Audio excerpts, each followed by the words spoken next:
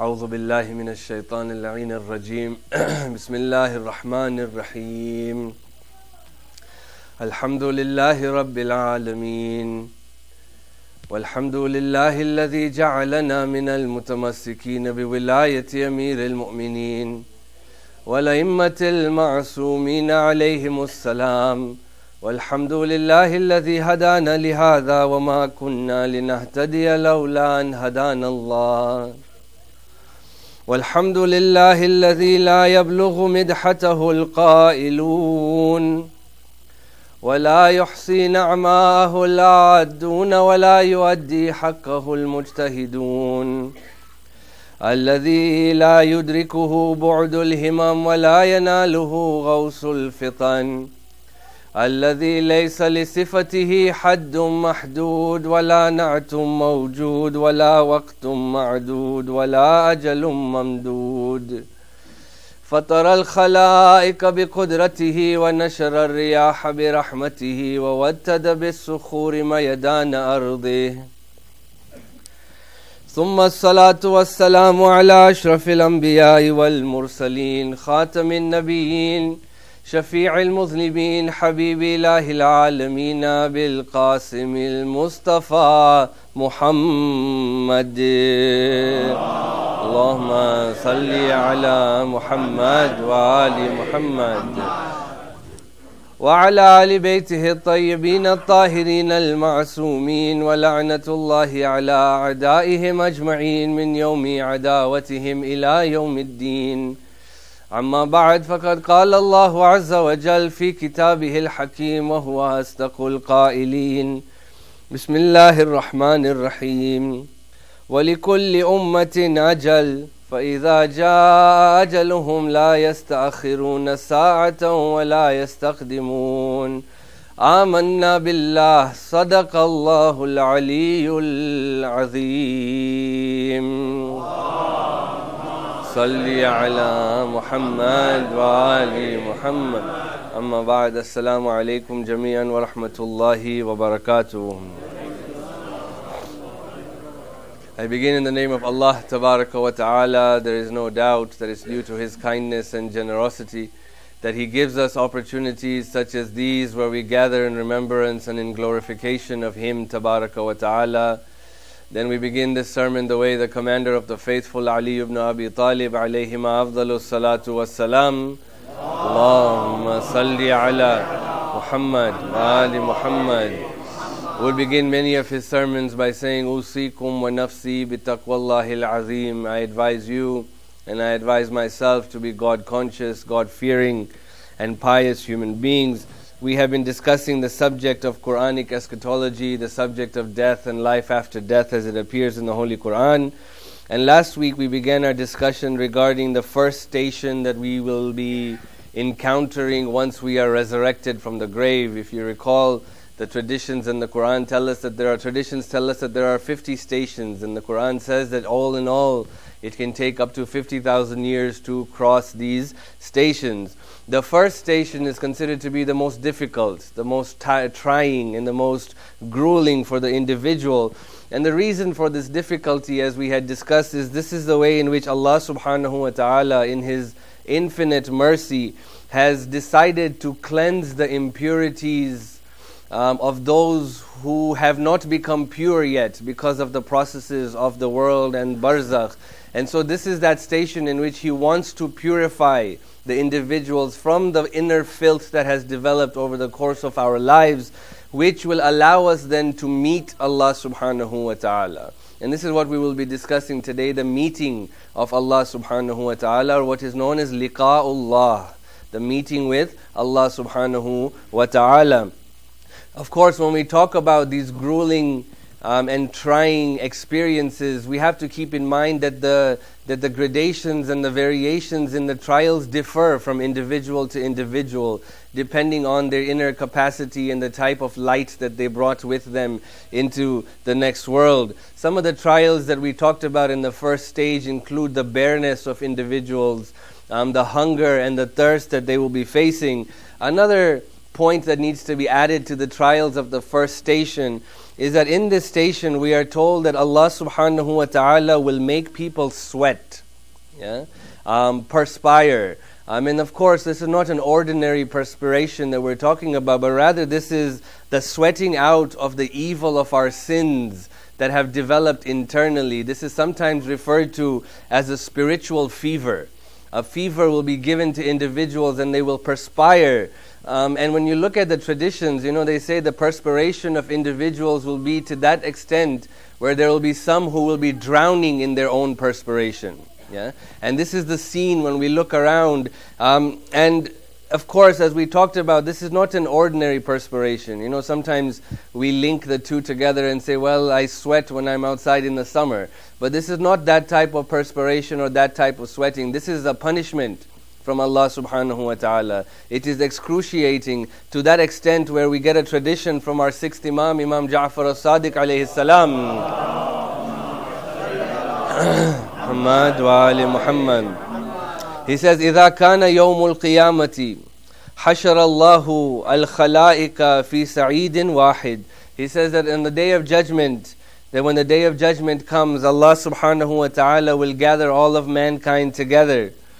فيقيمون and they will be placed there حتى يلجمهم العرق until sweat begins to overcome them. They will begin to perspire to a tremendous extent. فَيَقُولُونَ And the response that they will say, لَيْتَ اللَّهِ يَحْكُمُ بَيْنَنَا He says, I wish Allah would just judge us now. They will become fed up from that perspiration to where they will say, I wish Allah will just judge us, وَلَوْ إِلَى النَّارِ Even if He sends us to the fire, it is better than what we are going through right now.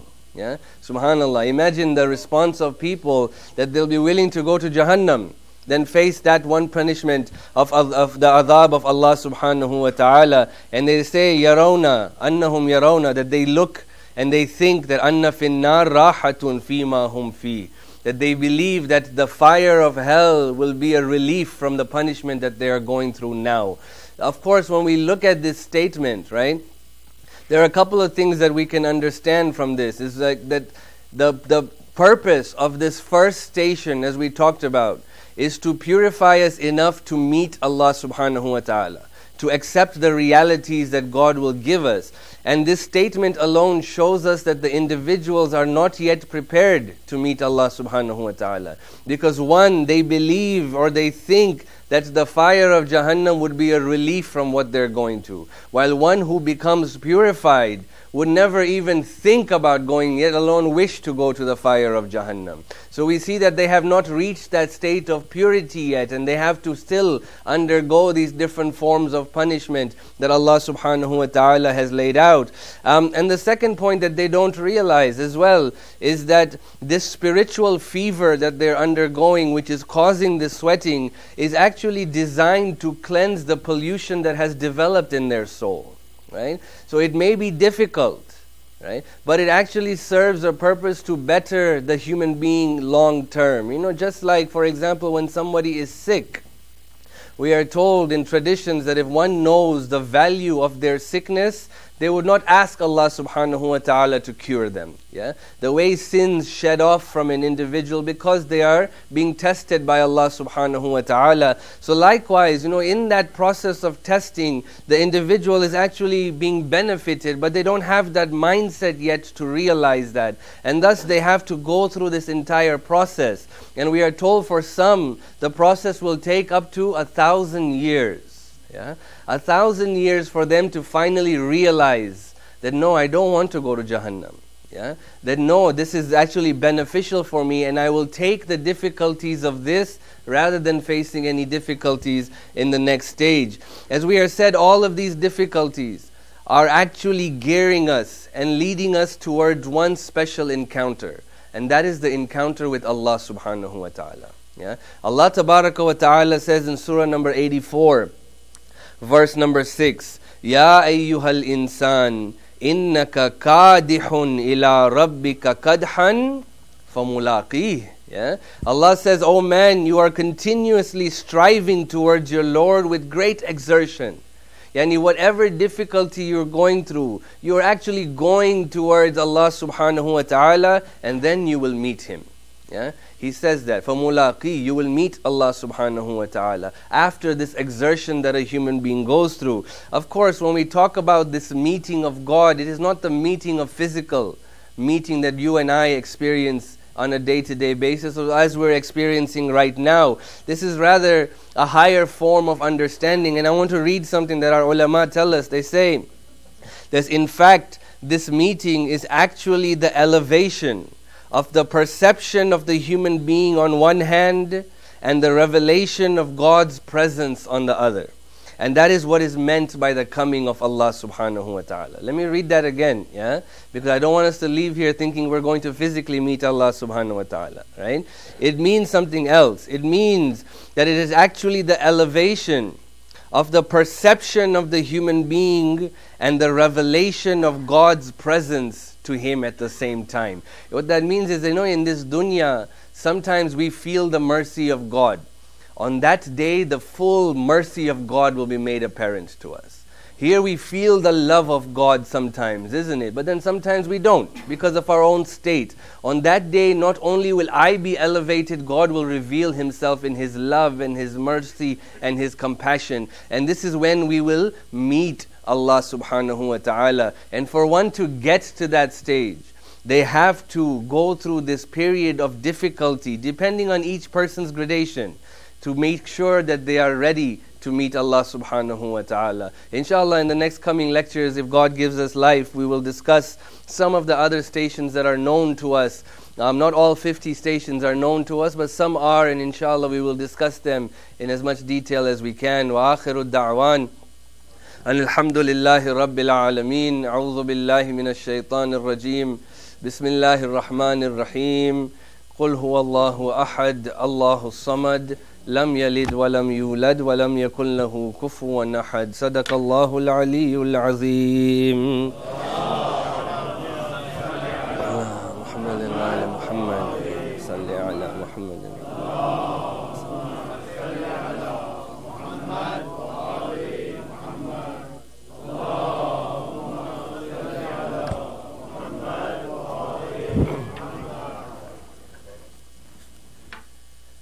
أعوذ بالله من الشيطان اللعين الرجيم. بسم الله الرحمن الرحيم.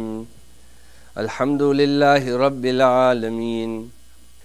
والحمد لله قاسم الجبارين مبير الظالمين مدرك الهاربين نكال الظالمين صريخ المستصرخين موضع حاجات الطالبين معتمد المؤمنين.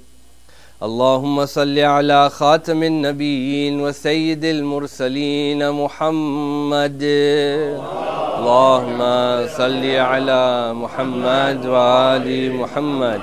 وصل على سيد الوصيين أمير المؤمنين علي بن أبي طالب. صل على محمد وآل محمد. وصل على الصديقة الطاهرة فاطمة الزهراء سيدة نساء العالمين.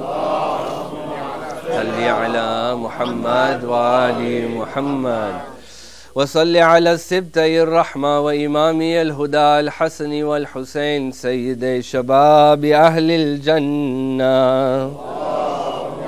وصل على محمد وآل محمد. وصل على علي بن الحسين ومحمد بن علي وجعفر بن محمد وموسى بن جعفر وعلي بن موسى ومحمد بن علي وعلي بن محمد والحسن بن علي والحجة القائم المهدي.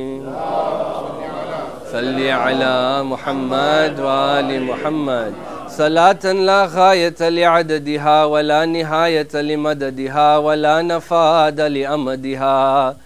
اللهم اغفر للمؤمنين والمؤمنات والمسلمين والمسلمات الأحياء منهم والأموات وتابع بيننا وبينهم بالخيرات إنك مجيب الدعوات إنك على كل شيء قدير اللهم صل على محمد وآل محمد Uh, in this second sermon, I wanted to brief you um, regarding some of the work that we have been doing with the Peel District School Board. I used to give you updates frequently last year, um, and it's been a few months since we've given any updates. Many of you um, who have may, may have read articles in the newspapers that currently the PDSB is going through some difficulty with their students regarding Salatul Jum'ah.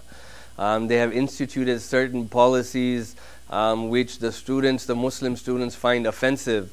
Um, and they've actually challenged them and taken them to the board. And we have been part of this process for the past uh, six or seven months now. And I just wanted to give you an update. They're going to come out with their final findings uh, next week. But um, it started back in the summer or pre summer where PDSB, um, Peel District School Board, um, they changed their religious accommodation policies. Um, for those who have students in the Peel District School Board, there are certain religious accommodation guidelines that they have set up. So, for example, that if you don't want your child to participate in music class, they can be accommodated out of that class. It's no longer in, uh, they're no longer exempted from that class. Before, you can exempt your child from a subject altogether. But now they accommodate. So basically, what they want to do is they want to take the learning objectives of the class that you're asking to be exempted from and trying to find a replacement where they can teach you those same educational tools but in a different methodology for example. And what additionally they have done is that they have not allowed now for group exemptions or group accommodations. They are now individual accommodations. So even if 100 muslim students want to be uh, a day off for Eid, they're not just going to set up a blanket rule saying all Muslims will get Eid off. They're going to have to have one person at a time go and seek this accommodation from their students. And the reason why they were driving behind this individual policy rather than a group policy is because they wanted to get to that stage where they do not allow congregational prayers at their schools anymore. They say that the school cannot resemble a place of worship right? So what they did was that they banned any type of congregational prayer at their school. So if three Christian students wanted to have a Bible study together where one person would read out loud, that is now prohibited. If Muslim students, five of them are gathered and one goes up to lead the salah, it is now banned. So this is the policy that they created. Uh, myself, along with our vice chairman here and four other of our Sunni Imams from the local mosques here in Peel um, have been in long discussions with them regarding this policy to say that it is um, not a fair policy and rather it violates our religious principles, especially when it comes to Salatul Jummah. Yes, um, with everyday prayers, we have a choice to pray home when we get home. We can pray individually or we can pray in congregation. However, for Jum'ah, there is a set time and most of the kids are in school during that time, and Jum'ah must be done in congregation. So, after months and months of, of going back and forth on this issue, they finally changed their policy. And their policy now allows for Jummah Salah to be recited in congregation. Yeah? Allahumma salli ala Muhammad wa ali Muhammad. I wish we could end there, yeah, but it doesn't end there, unfortunately. The next thing they said was now that they will not going to allow the students to write their own khutbahs. Okay? And they cited an example. Now they've never given us, unfortunately, we've been again, we have a meeting with the director of, of PDSB on, coming up on Tuesday. Um, they've never told us where this incident happened, what the incident was, or what the specifics are. But in one of the schools, a teacher who was overseeing the juma prayers had to stop the student because what they recited in their khutbah was offensive to somebody, right, or someone. Um, and so, because of that one incident, which they've never come out and, and actually informed us of what it is or where it happened, they were now saying that the students will not be allowed to write their own khutbahs. Rather, they were seeking that we, the Imams, put together a series of khutbahs for them so that the students can have what is called a khutbah bank. They can go into that bank and take out a khutbah. The idea of a khutbah bank is not bad. Yeah? I come with scripted khutbahs. All of the imams come with scripted khutbahs. In fact, There are khutbah books out there for those who would like to lead khutbahs, for example, or Friday prayers in their home or they're on vacation. There's actually books that are out there. So the idea of a scripted khutbah is not negative in its own, but we argued with them that you are stripping the rights of the students' individuality and their ability to find different ways to connect to Allah subhanahu wa ta'ala and to humanity by depriving them of this right. But they went ahead with this policy. The mistake, the unfortunate mistake that was made, again, I don't see anything wrong with a scripted khutbah, right? But the mistake that the PDSB made was they never informed the students or their parents of these changes. Yeah? The new year started in September, and the students went to go lead their salah, and they were informed that no, you cannot have congregational prayers now. You can only have it on Fridays. That caught them by surprise. Then they went next and they said, okay, we have khutbahs. No, you can't read your own khutbahs. And what it seemed like, and what it seems like to many of our Muslim um, brothers and sisters in Peel, is that this is a very specific target on Muslim students. And even if that's not the intention, right, that's what is perceived. That because this is something that only affects Muslims. And then when you tell Muslims that no, you have to have your scripted khutbah read ahead of time. Uh, and then, so it's a long story, right? Um, a month ago, the students, or maybe three weeks ago, this is when the article started coming out. The students delegated the board. So every two weeks, the board has a meeting with the trustees, and those who have certain complaints can delegate the board. The students delegated the board. We attended this meeting. There must have been about 150 people showed up at that meeting to complain about this policy. They went back and retracted this policy now. The policy now states that a khutbah can be written by a student as long as it is turned in by Monday and the principal can read it over and approve it and give it back to the students. Yeah? So they accommodated that much. Yet the perception within the Muslim community is, is that you are once again targeting Muslims. Yeah? You are saying that we don't trust you to recite something. Right? You can't throw out the whole basket because one apple is rotten right? Um, one person made a mistake. This policy has been in effect for years and years and years. And if one over the course of 20 or 30 years is rotten, that doesn't mean the whole policy is rotten.